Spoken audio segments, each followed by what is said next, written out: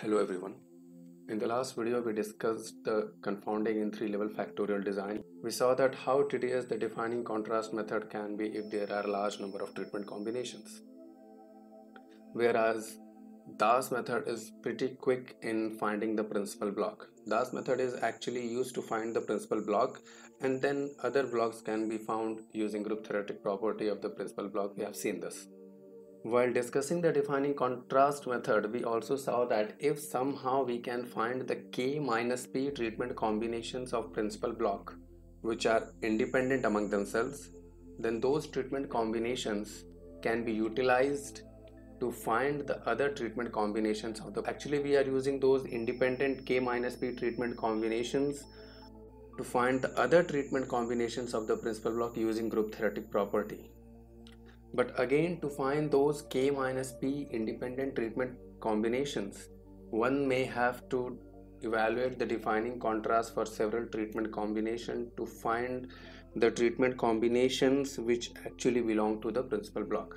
So there is actually a try and error method involved in defining contrast method. Whereas in Das method, one can quickly find the K minus P independent treatment combinations of the principal block and then using the group theoretic property, one can find the other treatment combination that is the complete principal block and then again using the same property, one can find the other blocks. So before discussing the theory, let us see one example of confounding 3 raised to 5 design in 3 raised to 2 blocks using Das method and then we will generalize the idea to the theory.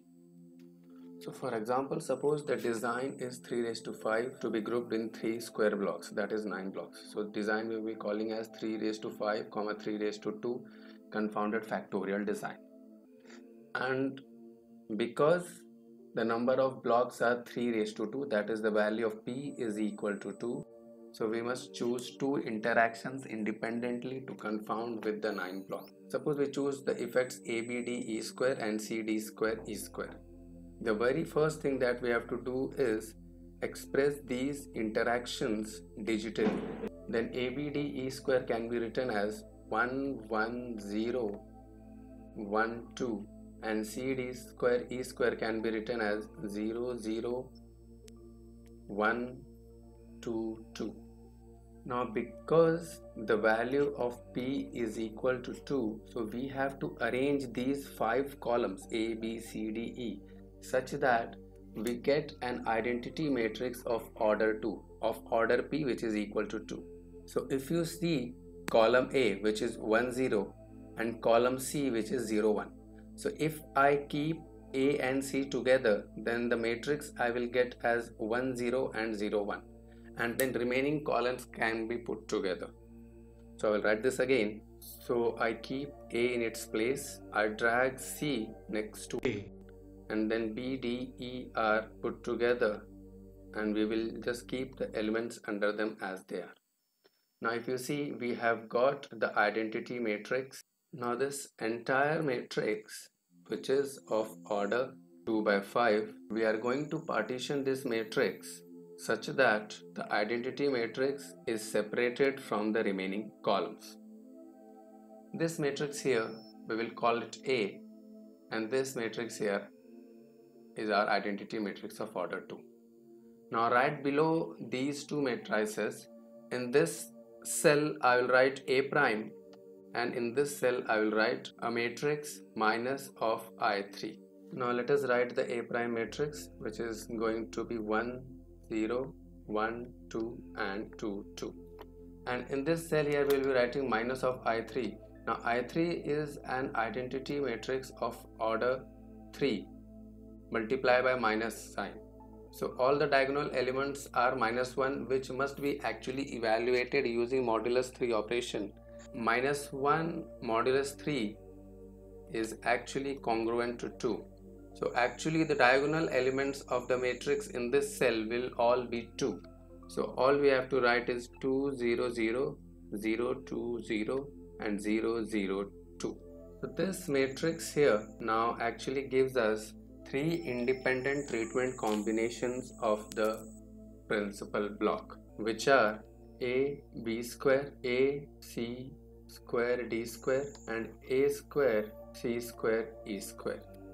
Now the linear combination of these treatment combination will actually produce the remaining treatment combination of the principal block. So if I say the first row in this matrix is R1, the second row is R2 and the third row is R3. The linear combination of R1, R2 and R3 will produce the remaining treatment combinations of the principal block. This linear combinations I can write as lambda 1 R1 plus lambda 2 R2 plus lambda 3 R3 where all three lambda i's can assume value 0, 1, 2.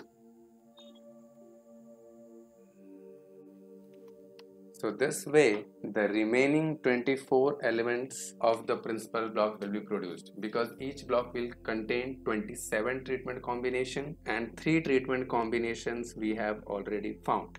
So you must have noticed uh, that in Das method, we don't have to search for the treatment combination using trial and error method. If you have the confounded effects, then you can immediately find the independent treatment combinations of principal block and then using them the remaining treatment combination. So whatever we understood from this example, let us put it in the theory. So Das method of finding principal block we were discussing and we discussed that Das method is used to construct the principal block and remaining blocks can be found easily using the group theoretic property. And we saw that if we have to confound a 3 raised to k design in 3 raised to p blocks then first then we need to construct a matrix of order k by k. It is actually augmented matrix of four different matrices ip a which is of order p into k minus p and a prime and minus of i and this minus of a k minus p is a diagonal matrix of order k minus p with all the diagonal elements equal to 2 actually we have to construct this matrix here first ip and a. The p rows of this matrix are given the p confounded effects expressed digitally. But the k columns representing k factors not necessarily in alphabetical order are arranged such that first p columns form the identity matrix ip this we saw in the example and then the remaining k minus p columns result in the formation of this A matrix. Note that one need not to use only the given independent confounded effects to construct the above P by K matrix, this matrix here. One can actually use the generalized confounded effects also to construct this matrix because the P independent confounded effects which are given to you may not always give you the identity matrix of order P that you want so you may have to use generalized confounded effects as well sometimes then the matrix A prime and minus I of order K minus P will give us the independent treatment combinations of the principal block. So we know that in all the blocks there will be 3 raised to k minus p treatment combinations. So out of those treatment combinations k minus p we have already found in this matrix here a prime and minus i and the remaining treatment combinations which are actually 3 raised to k minus p minus of k minus p. These remaining treatment combinations can be found using group theoretic property of principal blocks. So to illustrate this theory let us solve another example. So this time we will be confounding a 3 raised to 4 design in 3 square blocks and the effects or interaction components which are chosen to confound with the blocks are ABC and AB square D square. So because it is 3 raised to 4 design so K is equal to 4 and 3 square blocks are there so the value of P is equal to 2. So we have to construct this matrix I2A A prime minus I2 so what we will be doing we will first start with constructing the matrix i2 and a. For that we need to express the interaction effects abc and ab square d square digitally which are actually 110 and 1202 respectively. If you see if these digitally expressed effects are put one over other we will still not get the identity matrix. You can see it here. The two treatment combinations expressed digitally are kept one over another. And we see that there is no such column which can give us identity matrix. There is one column 1 0 but we need another column as 0 1 and there is no column as such. So these two independent confounded effects which are given to us will not give us the required identity matrix of order 2 so we need to take the help of the generalized confounded effects. And what are the generalized confounded effects? A c square d and b c square d square and if we express these generalized interactions digitally they are actually 1021 and 0122 and if written one over another you will notice that the first two columns will give us the required identity matrix of order 2 hence the i2 a2 by 2 matrix is given here. And we see that first two columns are actually composing the identity matrix then the remaining two columns of C and D compose the A matrix. The A matrix is again given here 2, 2, 1, 2. So we need to find the matrix A prime minus I. A prime matrix is again here 2, 1, 2, 2 and minus I2 matrix is simply a diagonal matrix of all diagonal elements equal to 2. So this matrix here A prime minus I gives us the independent treatment combinations of the principal block which are A square B square C square and a b square d square.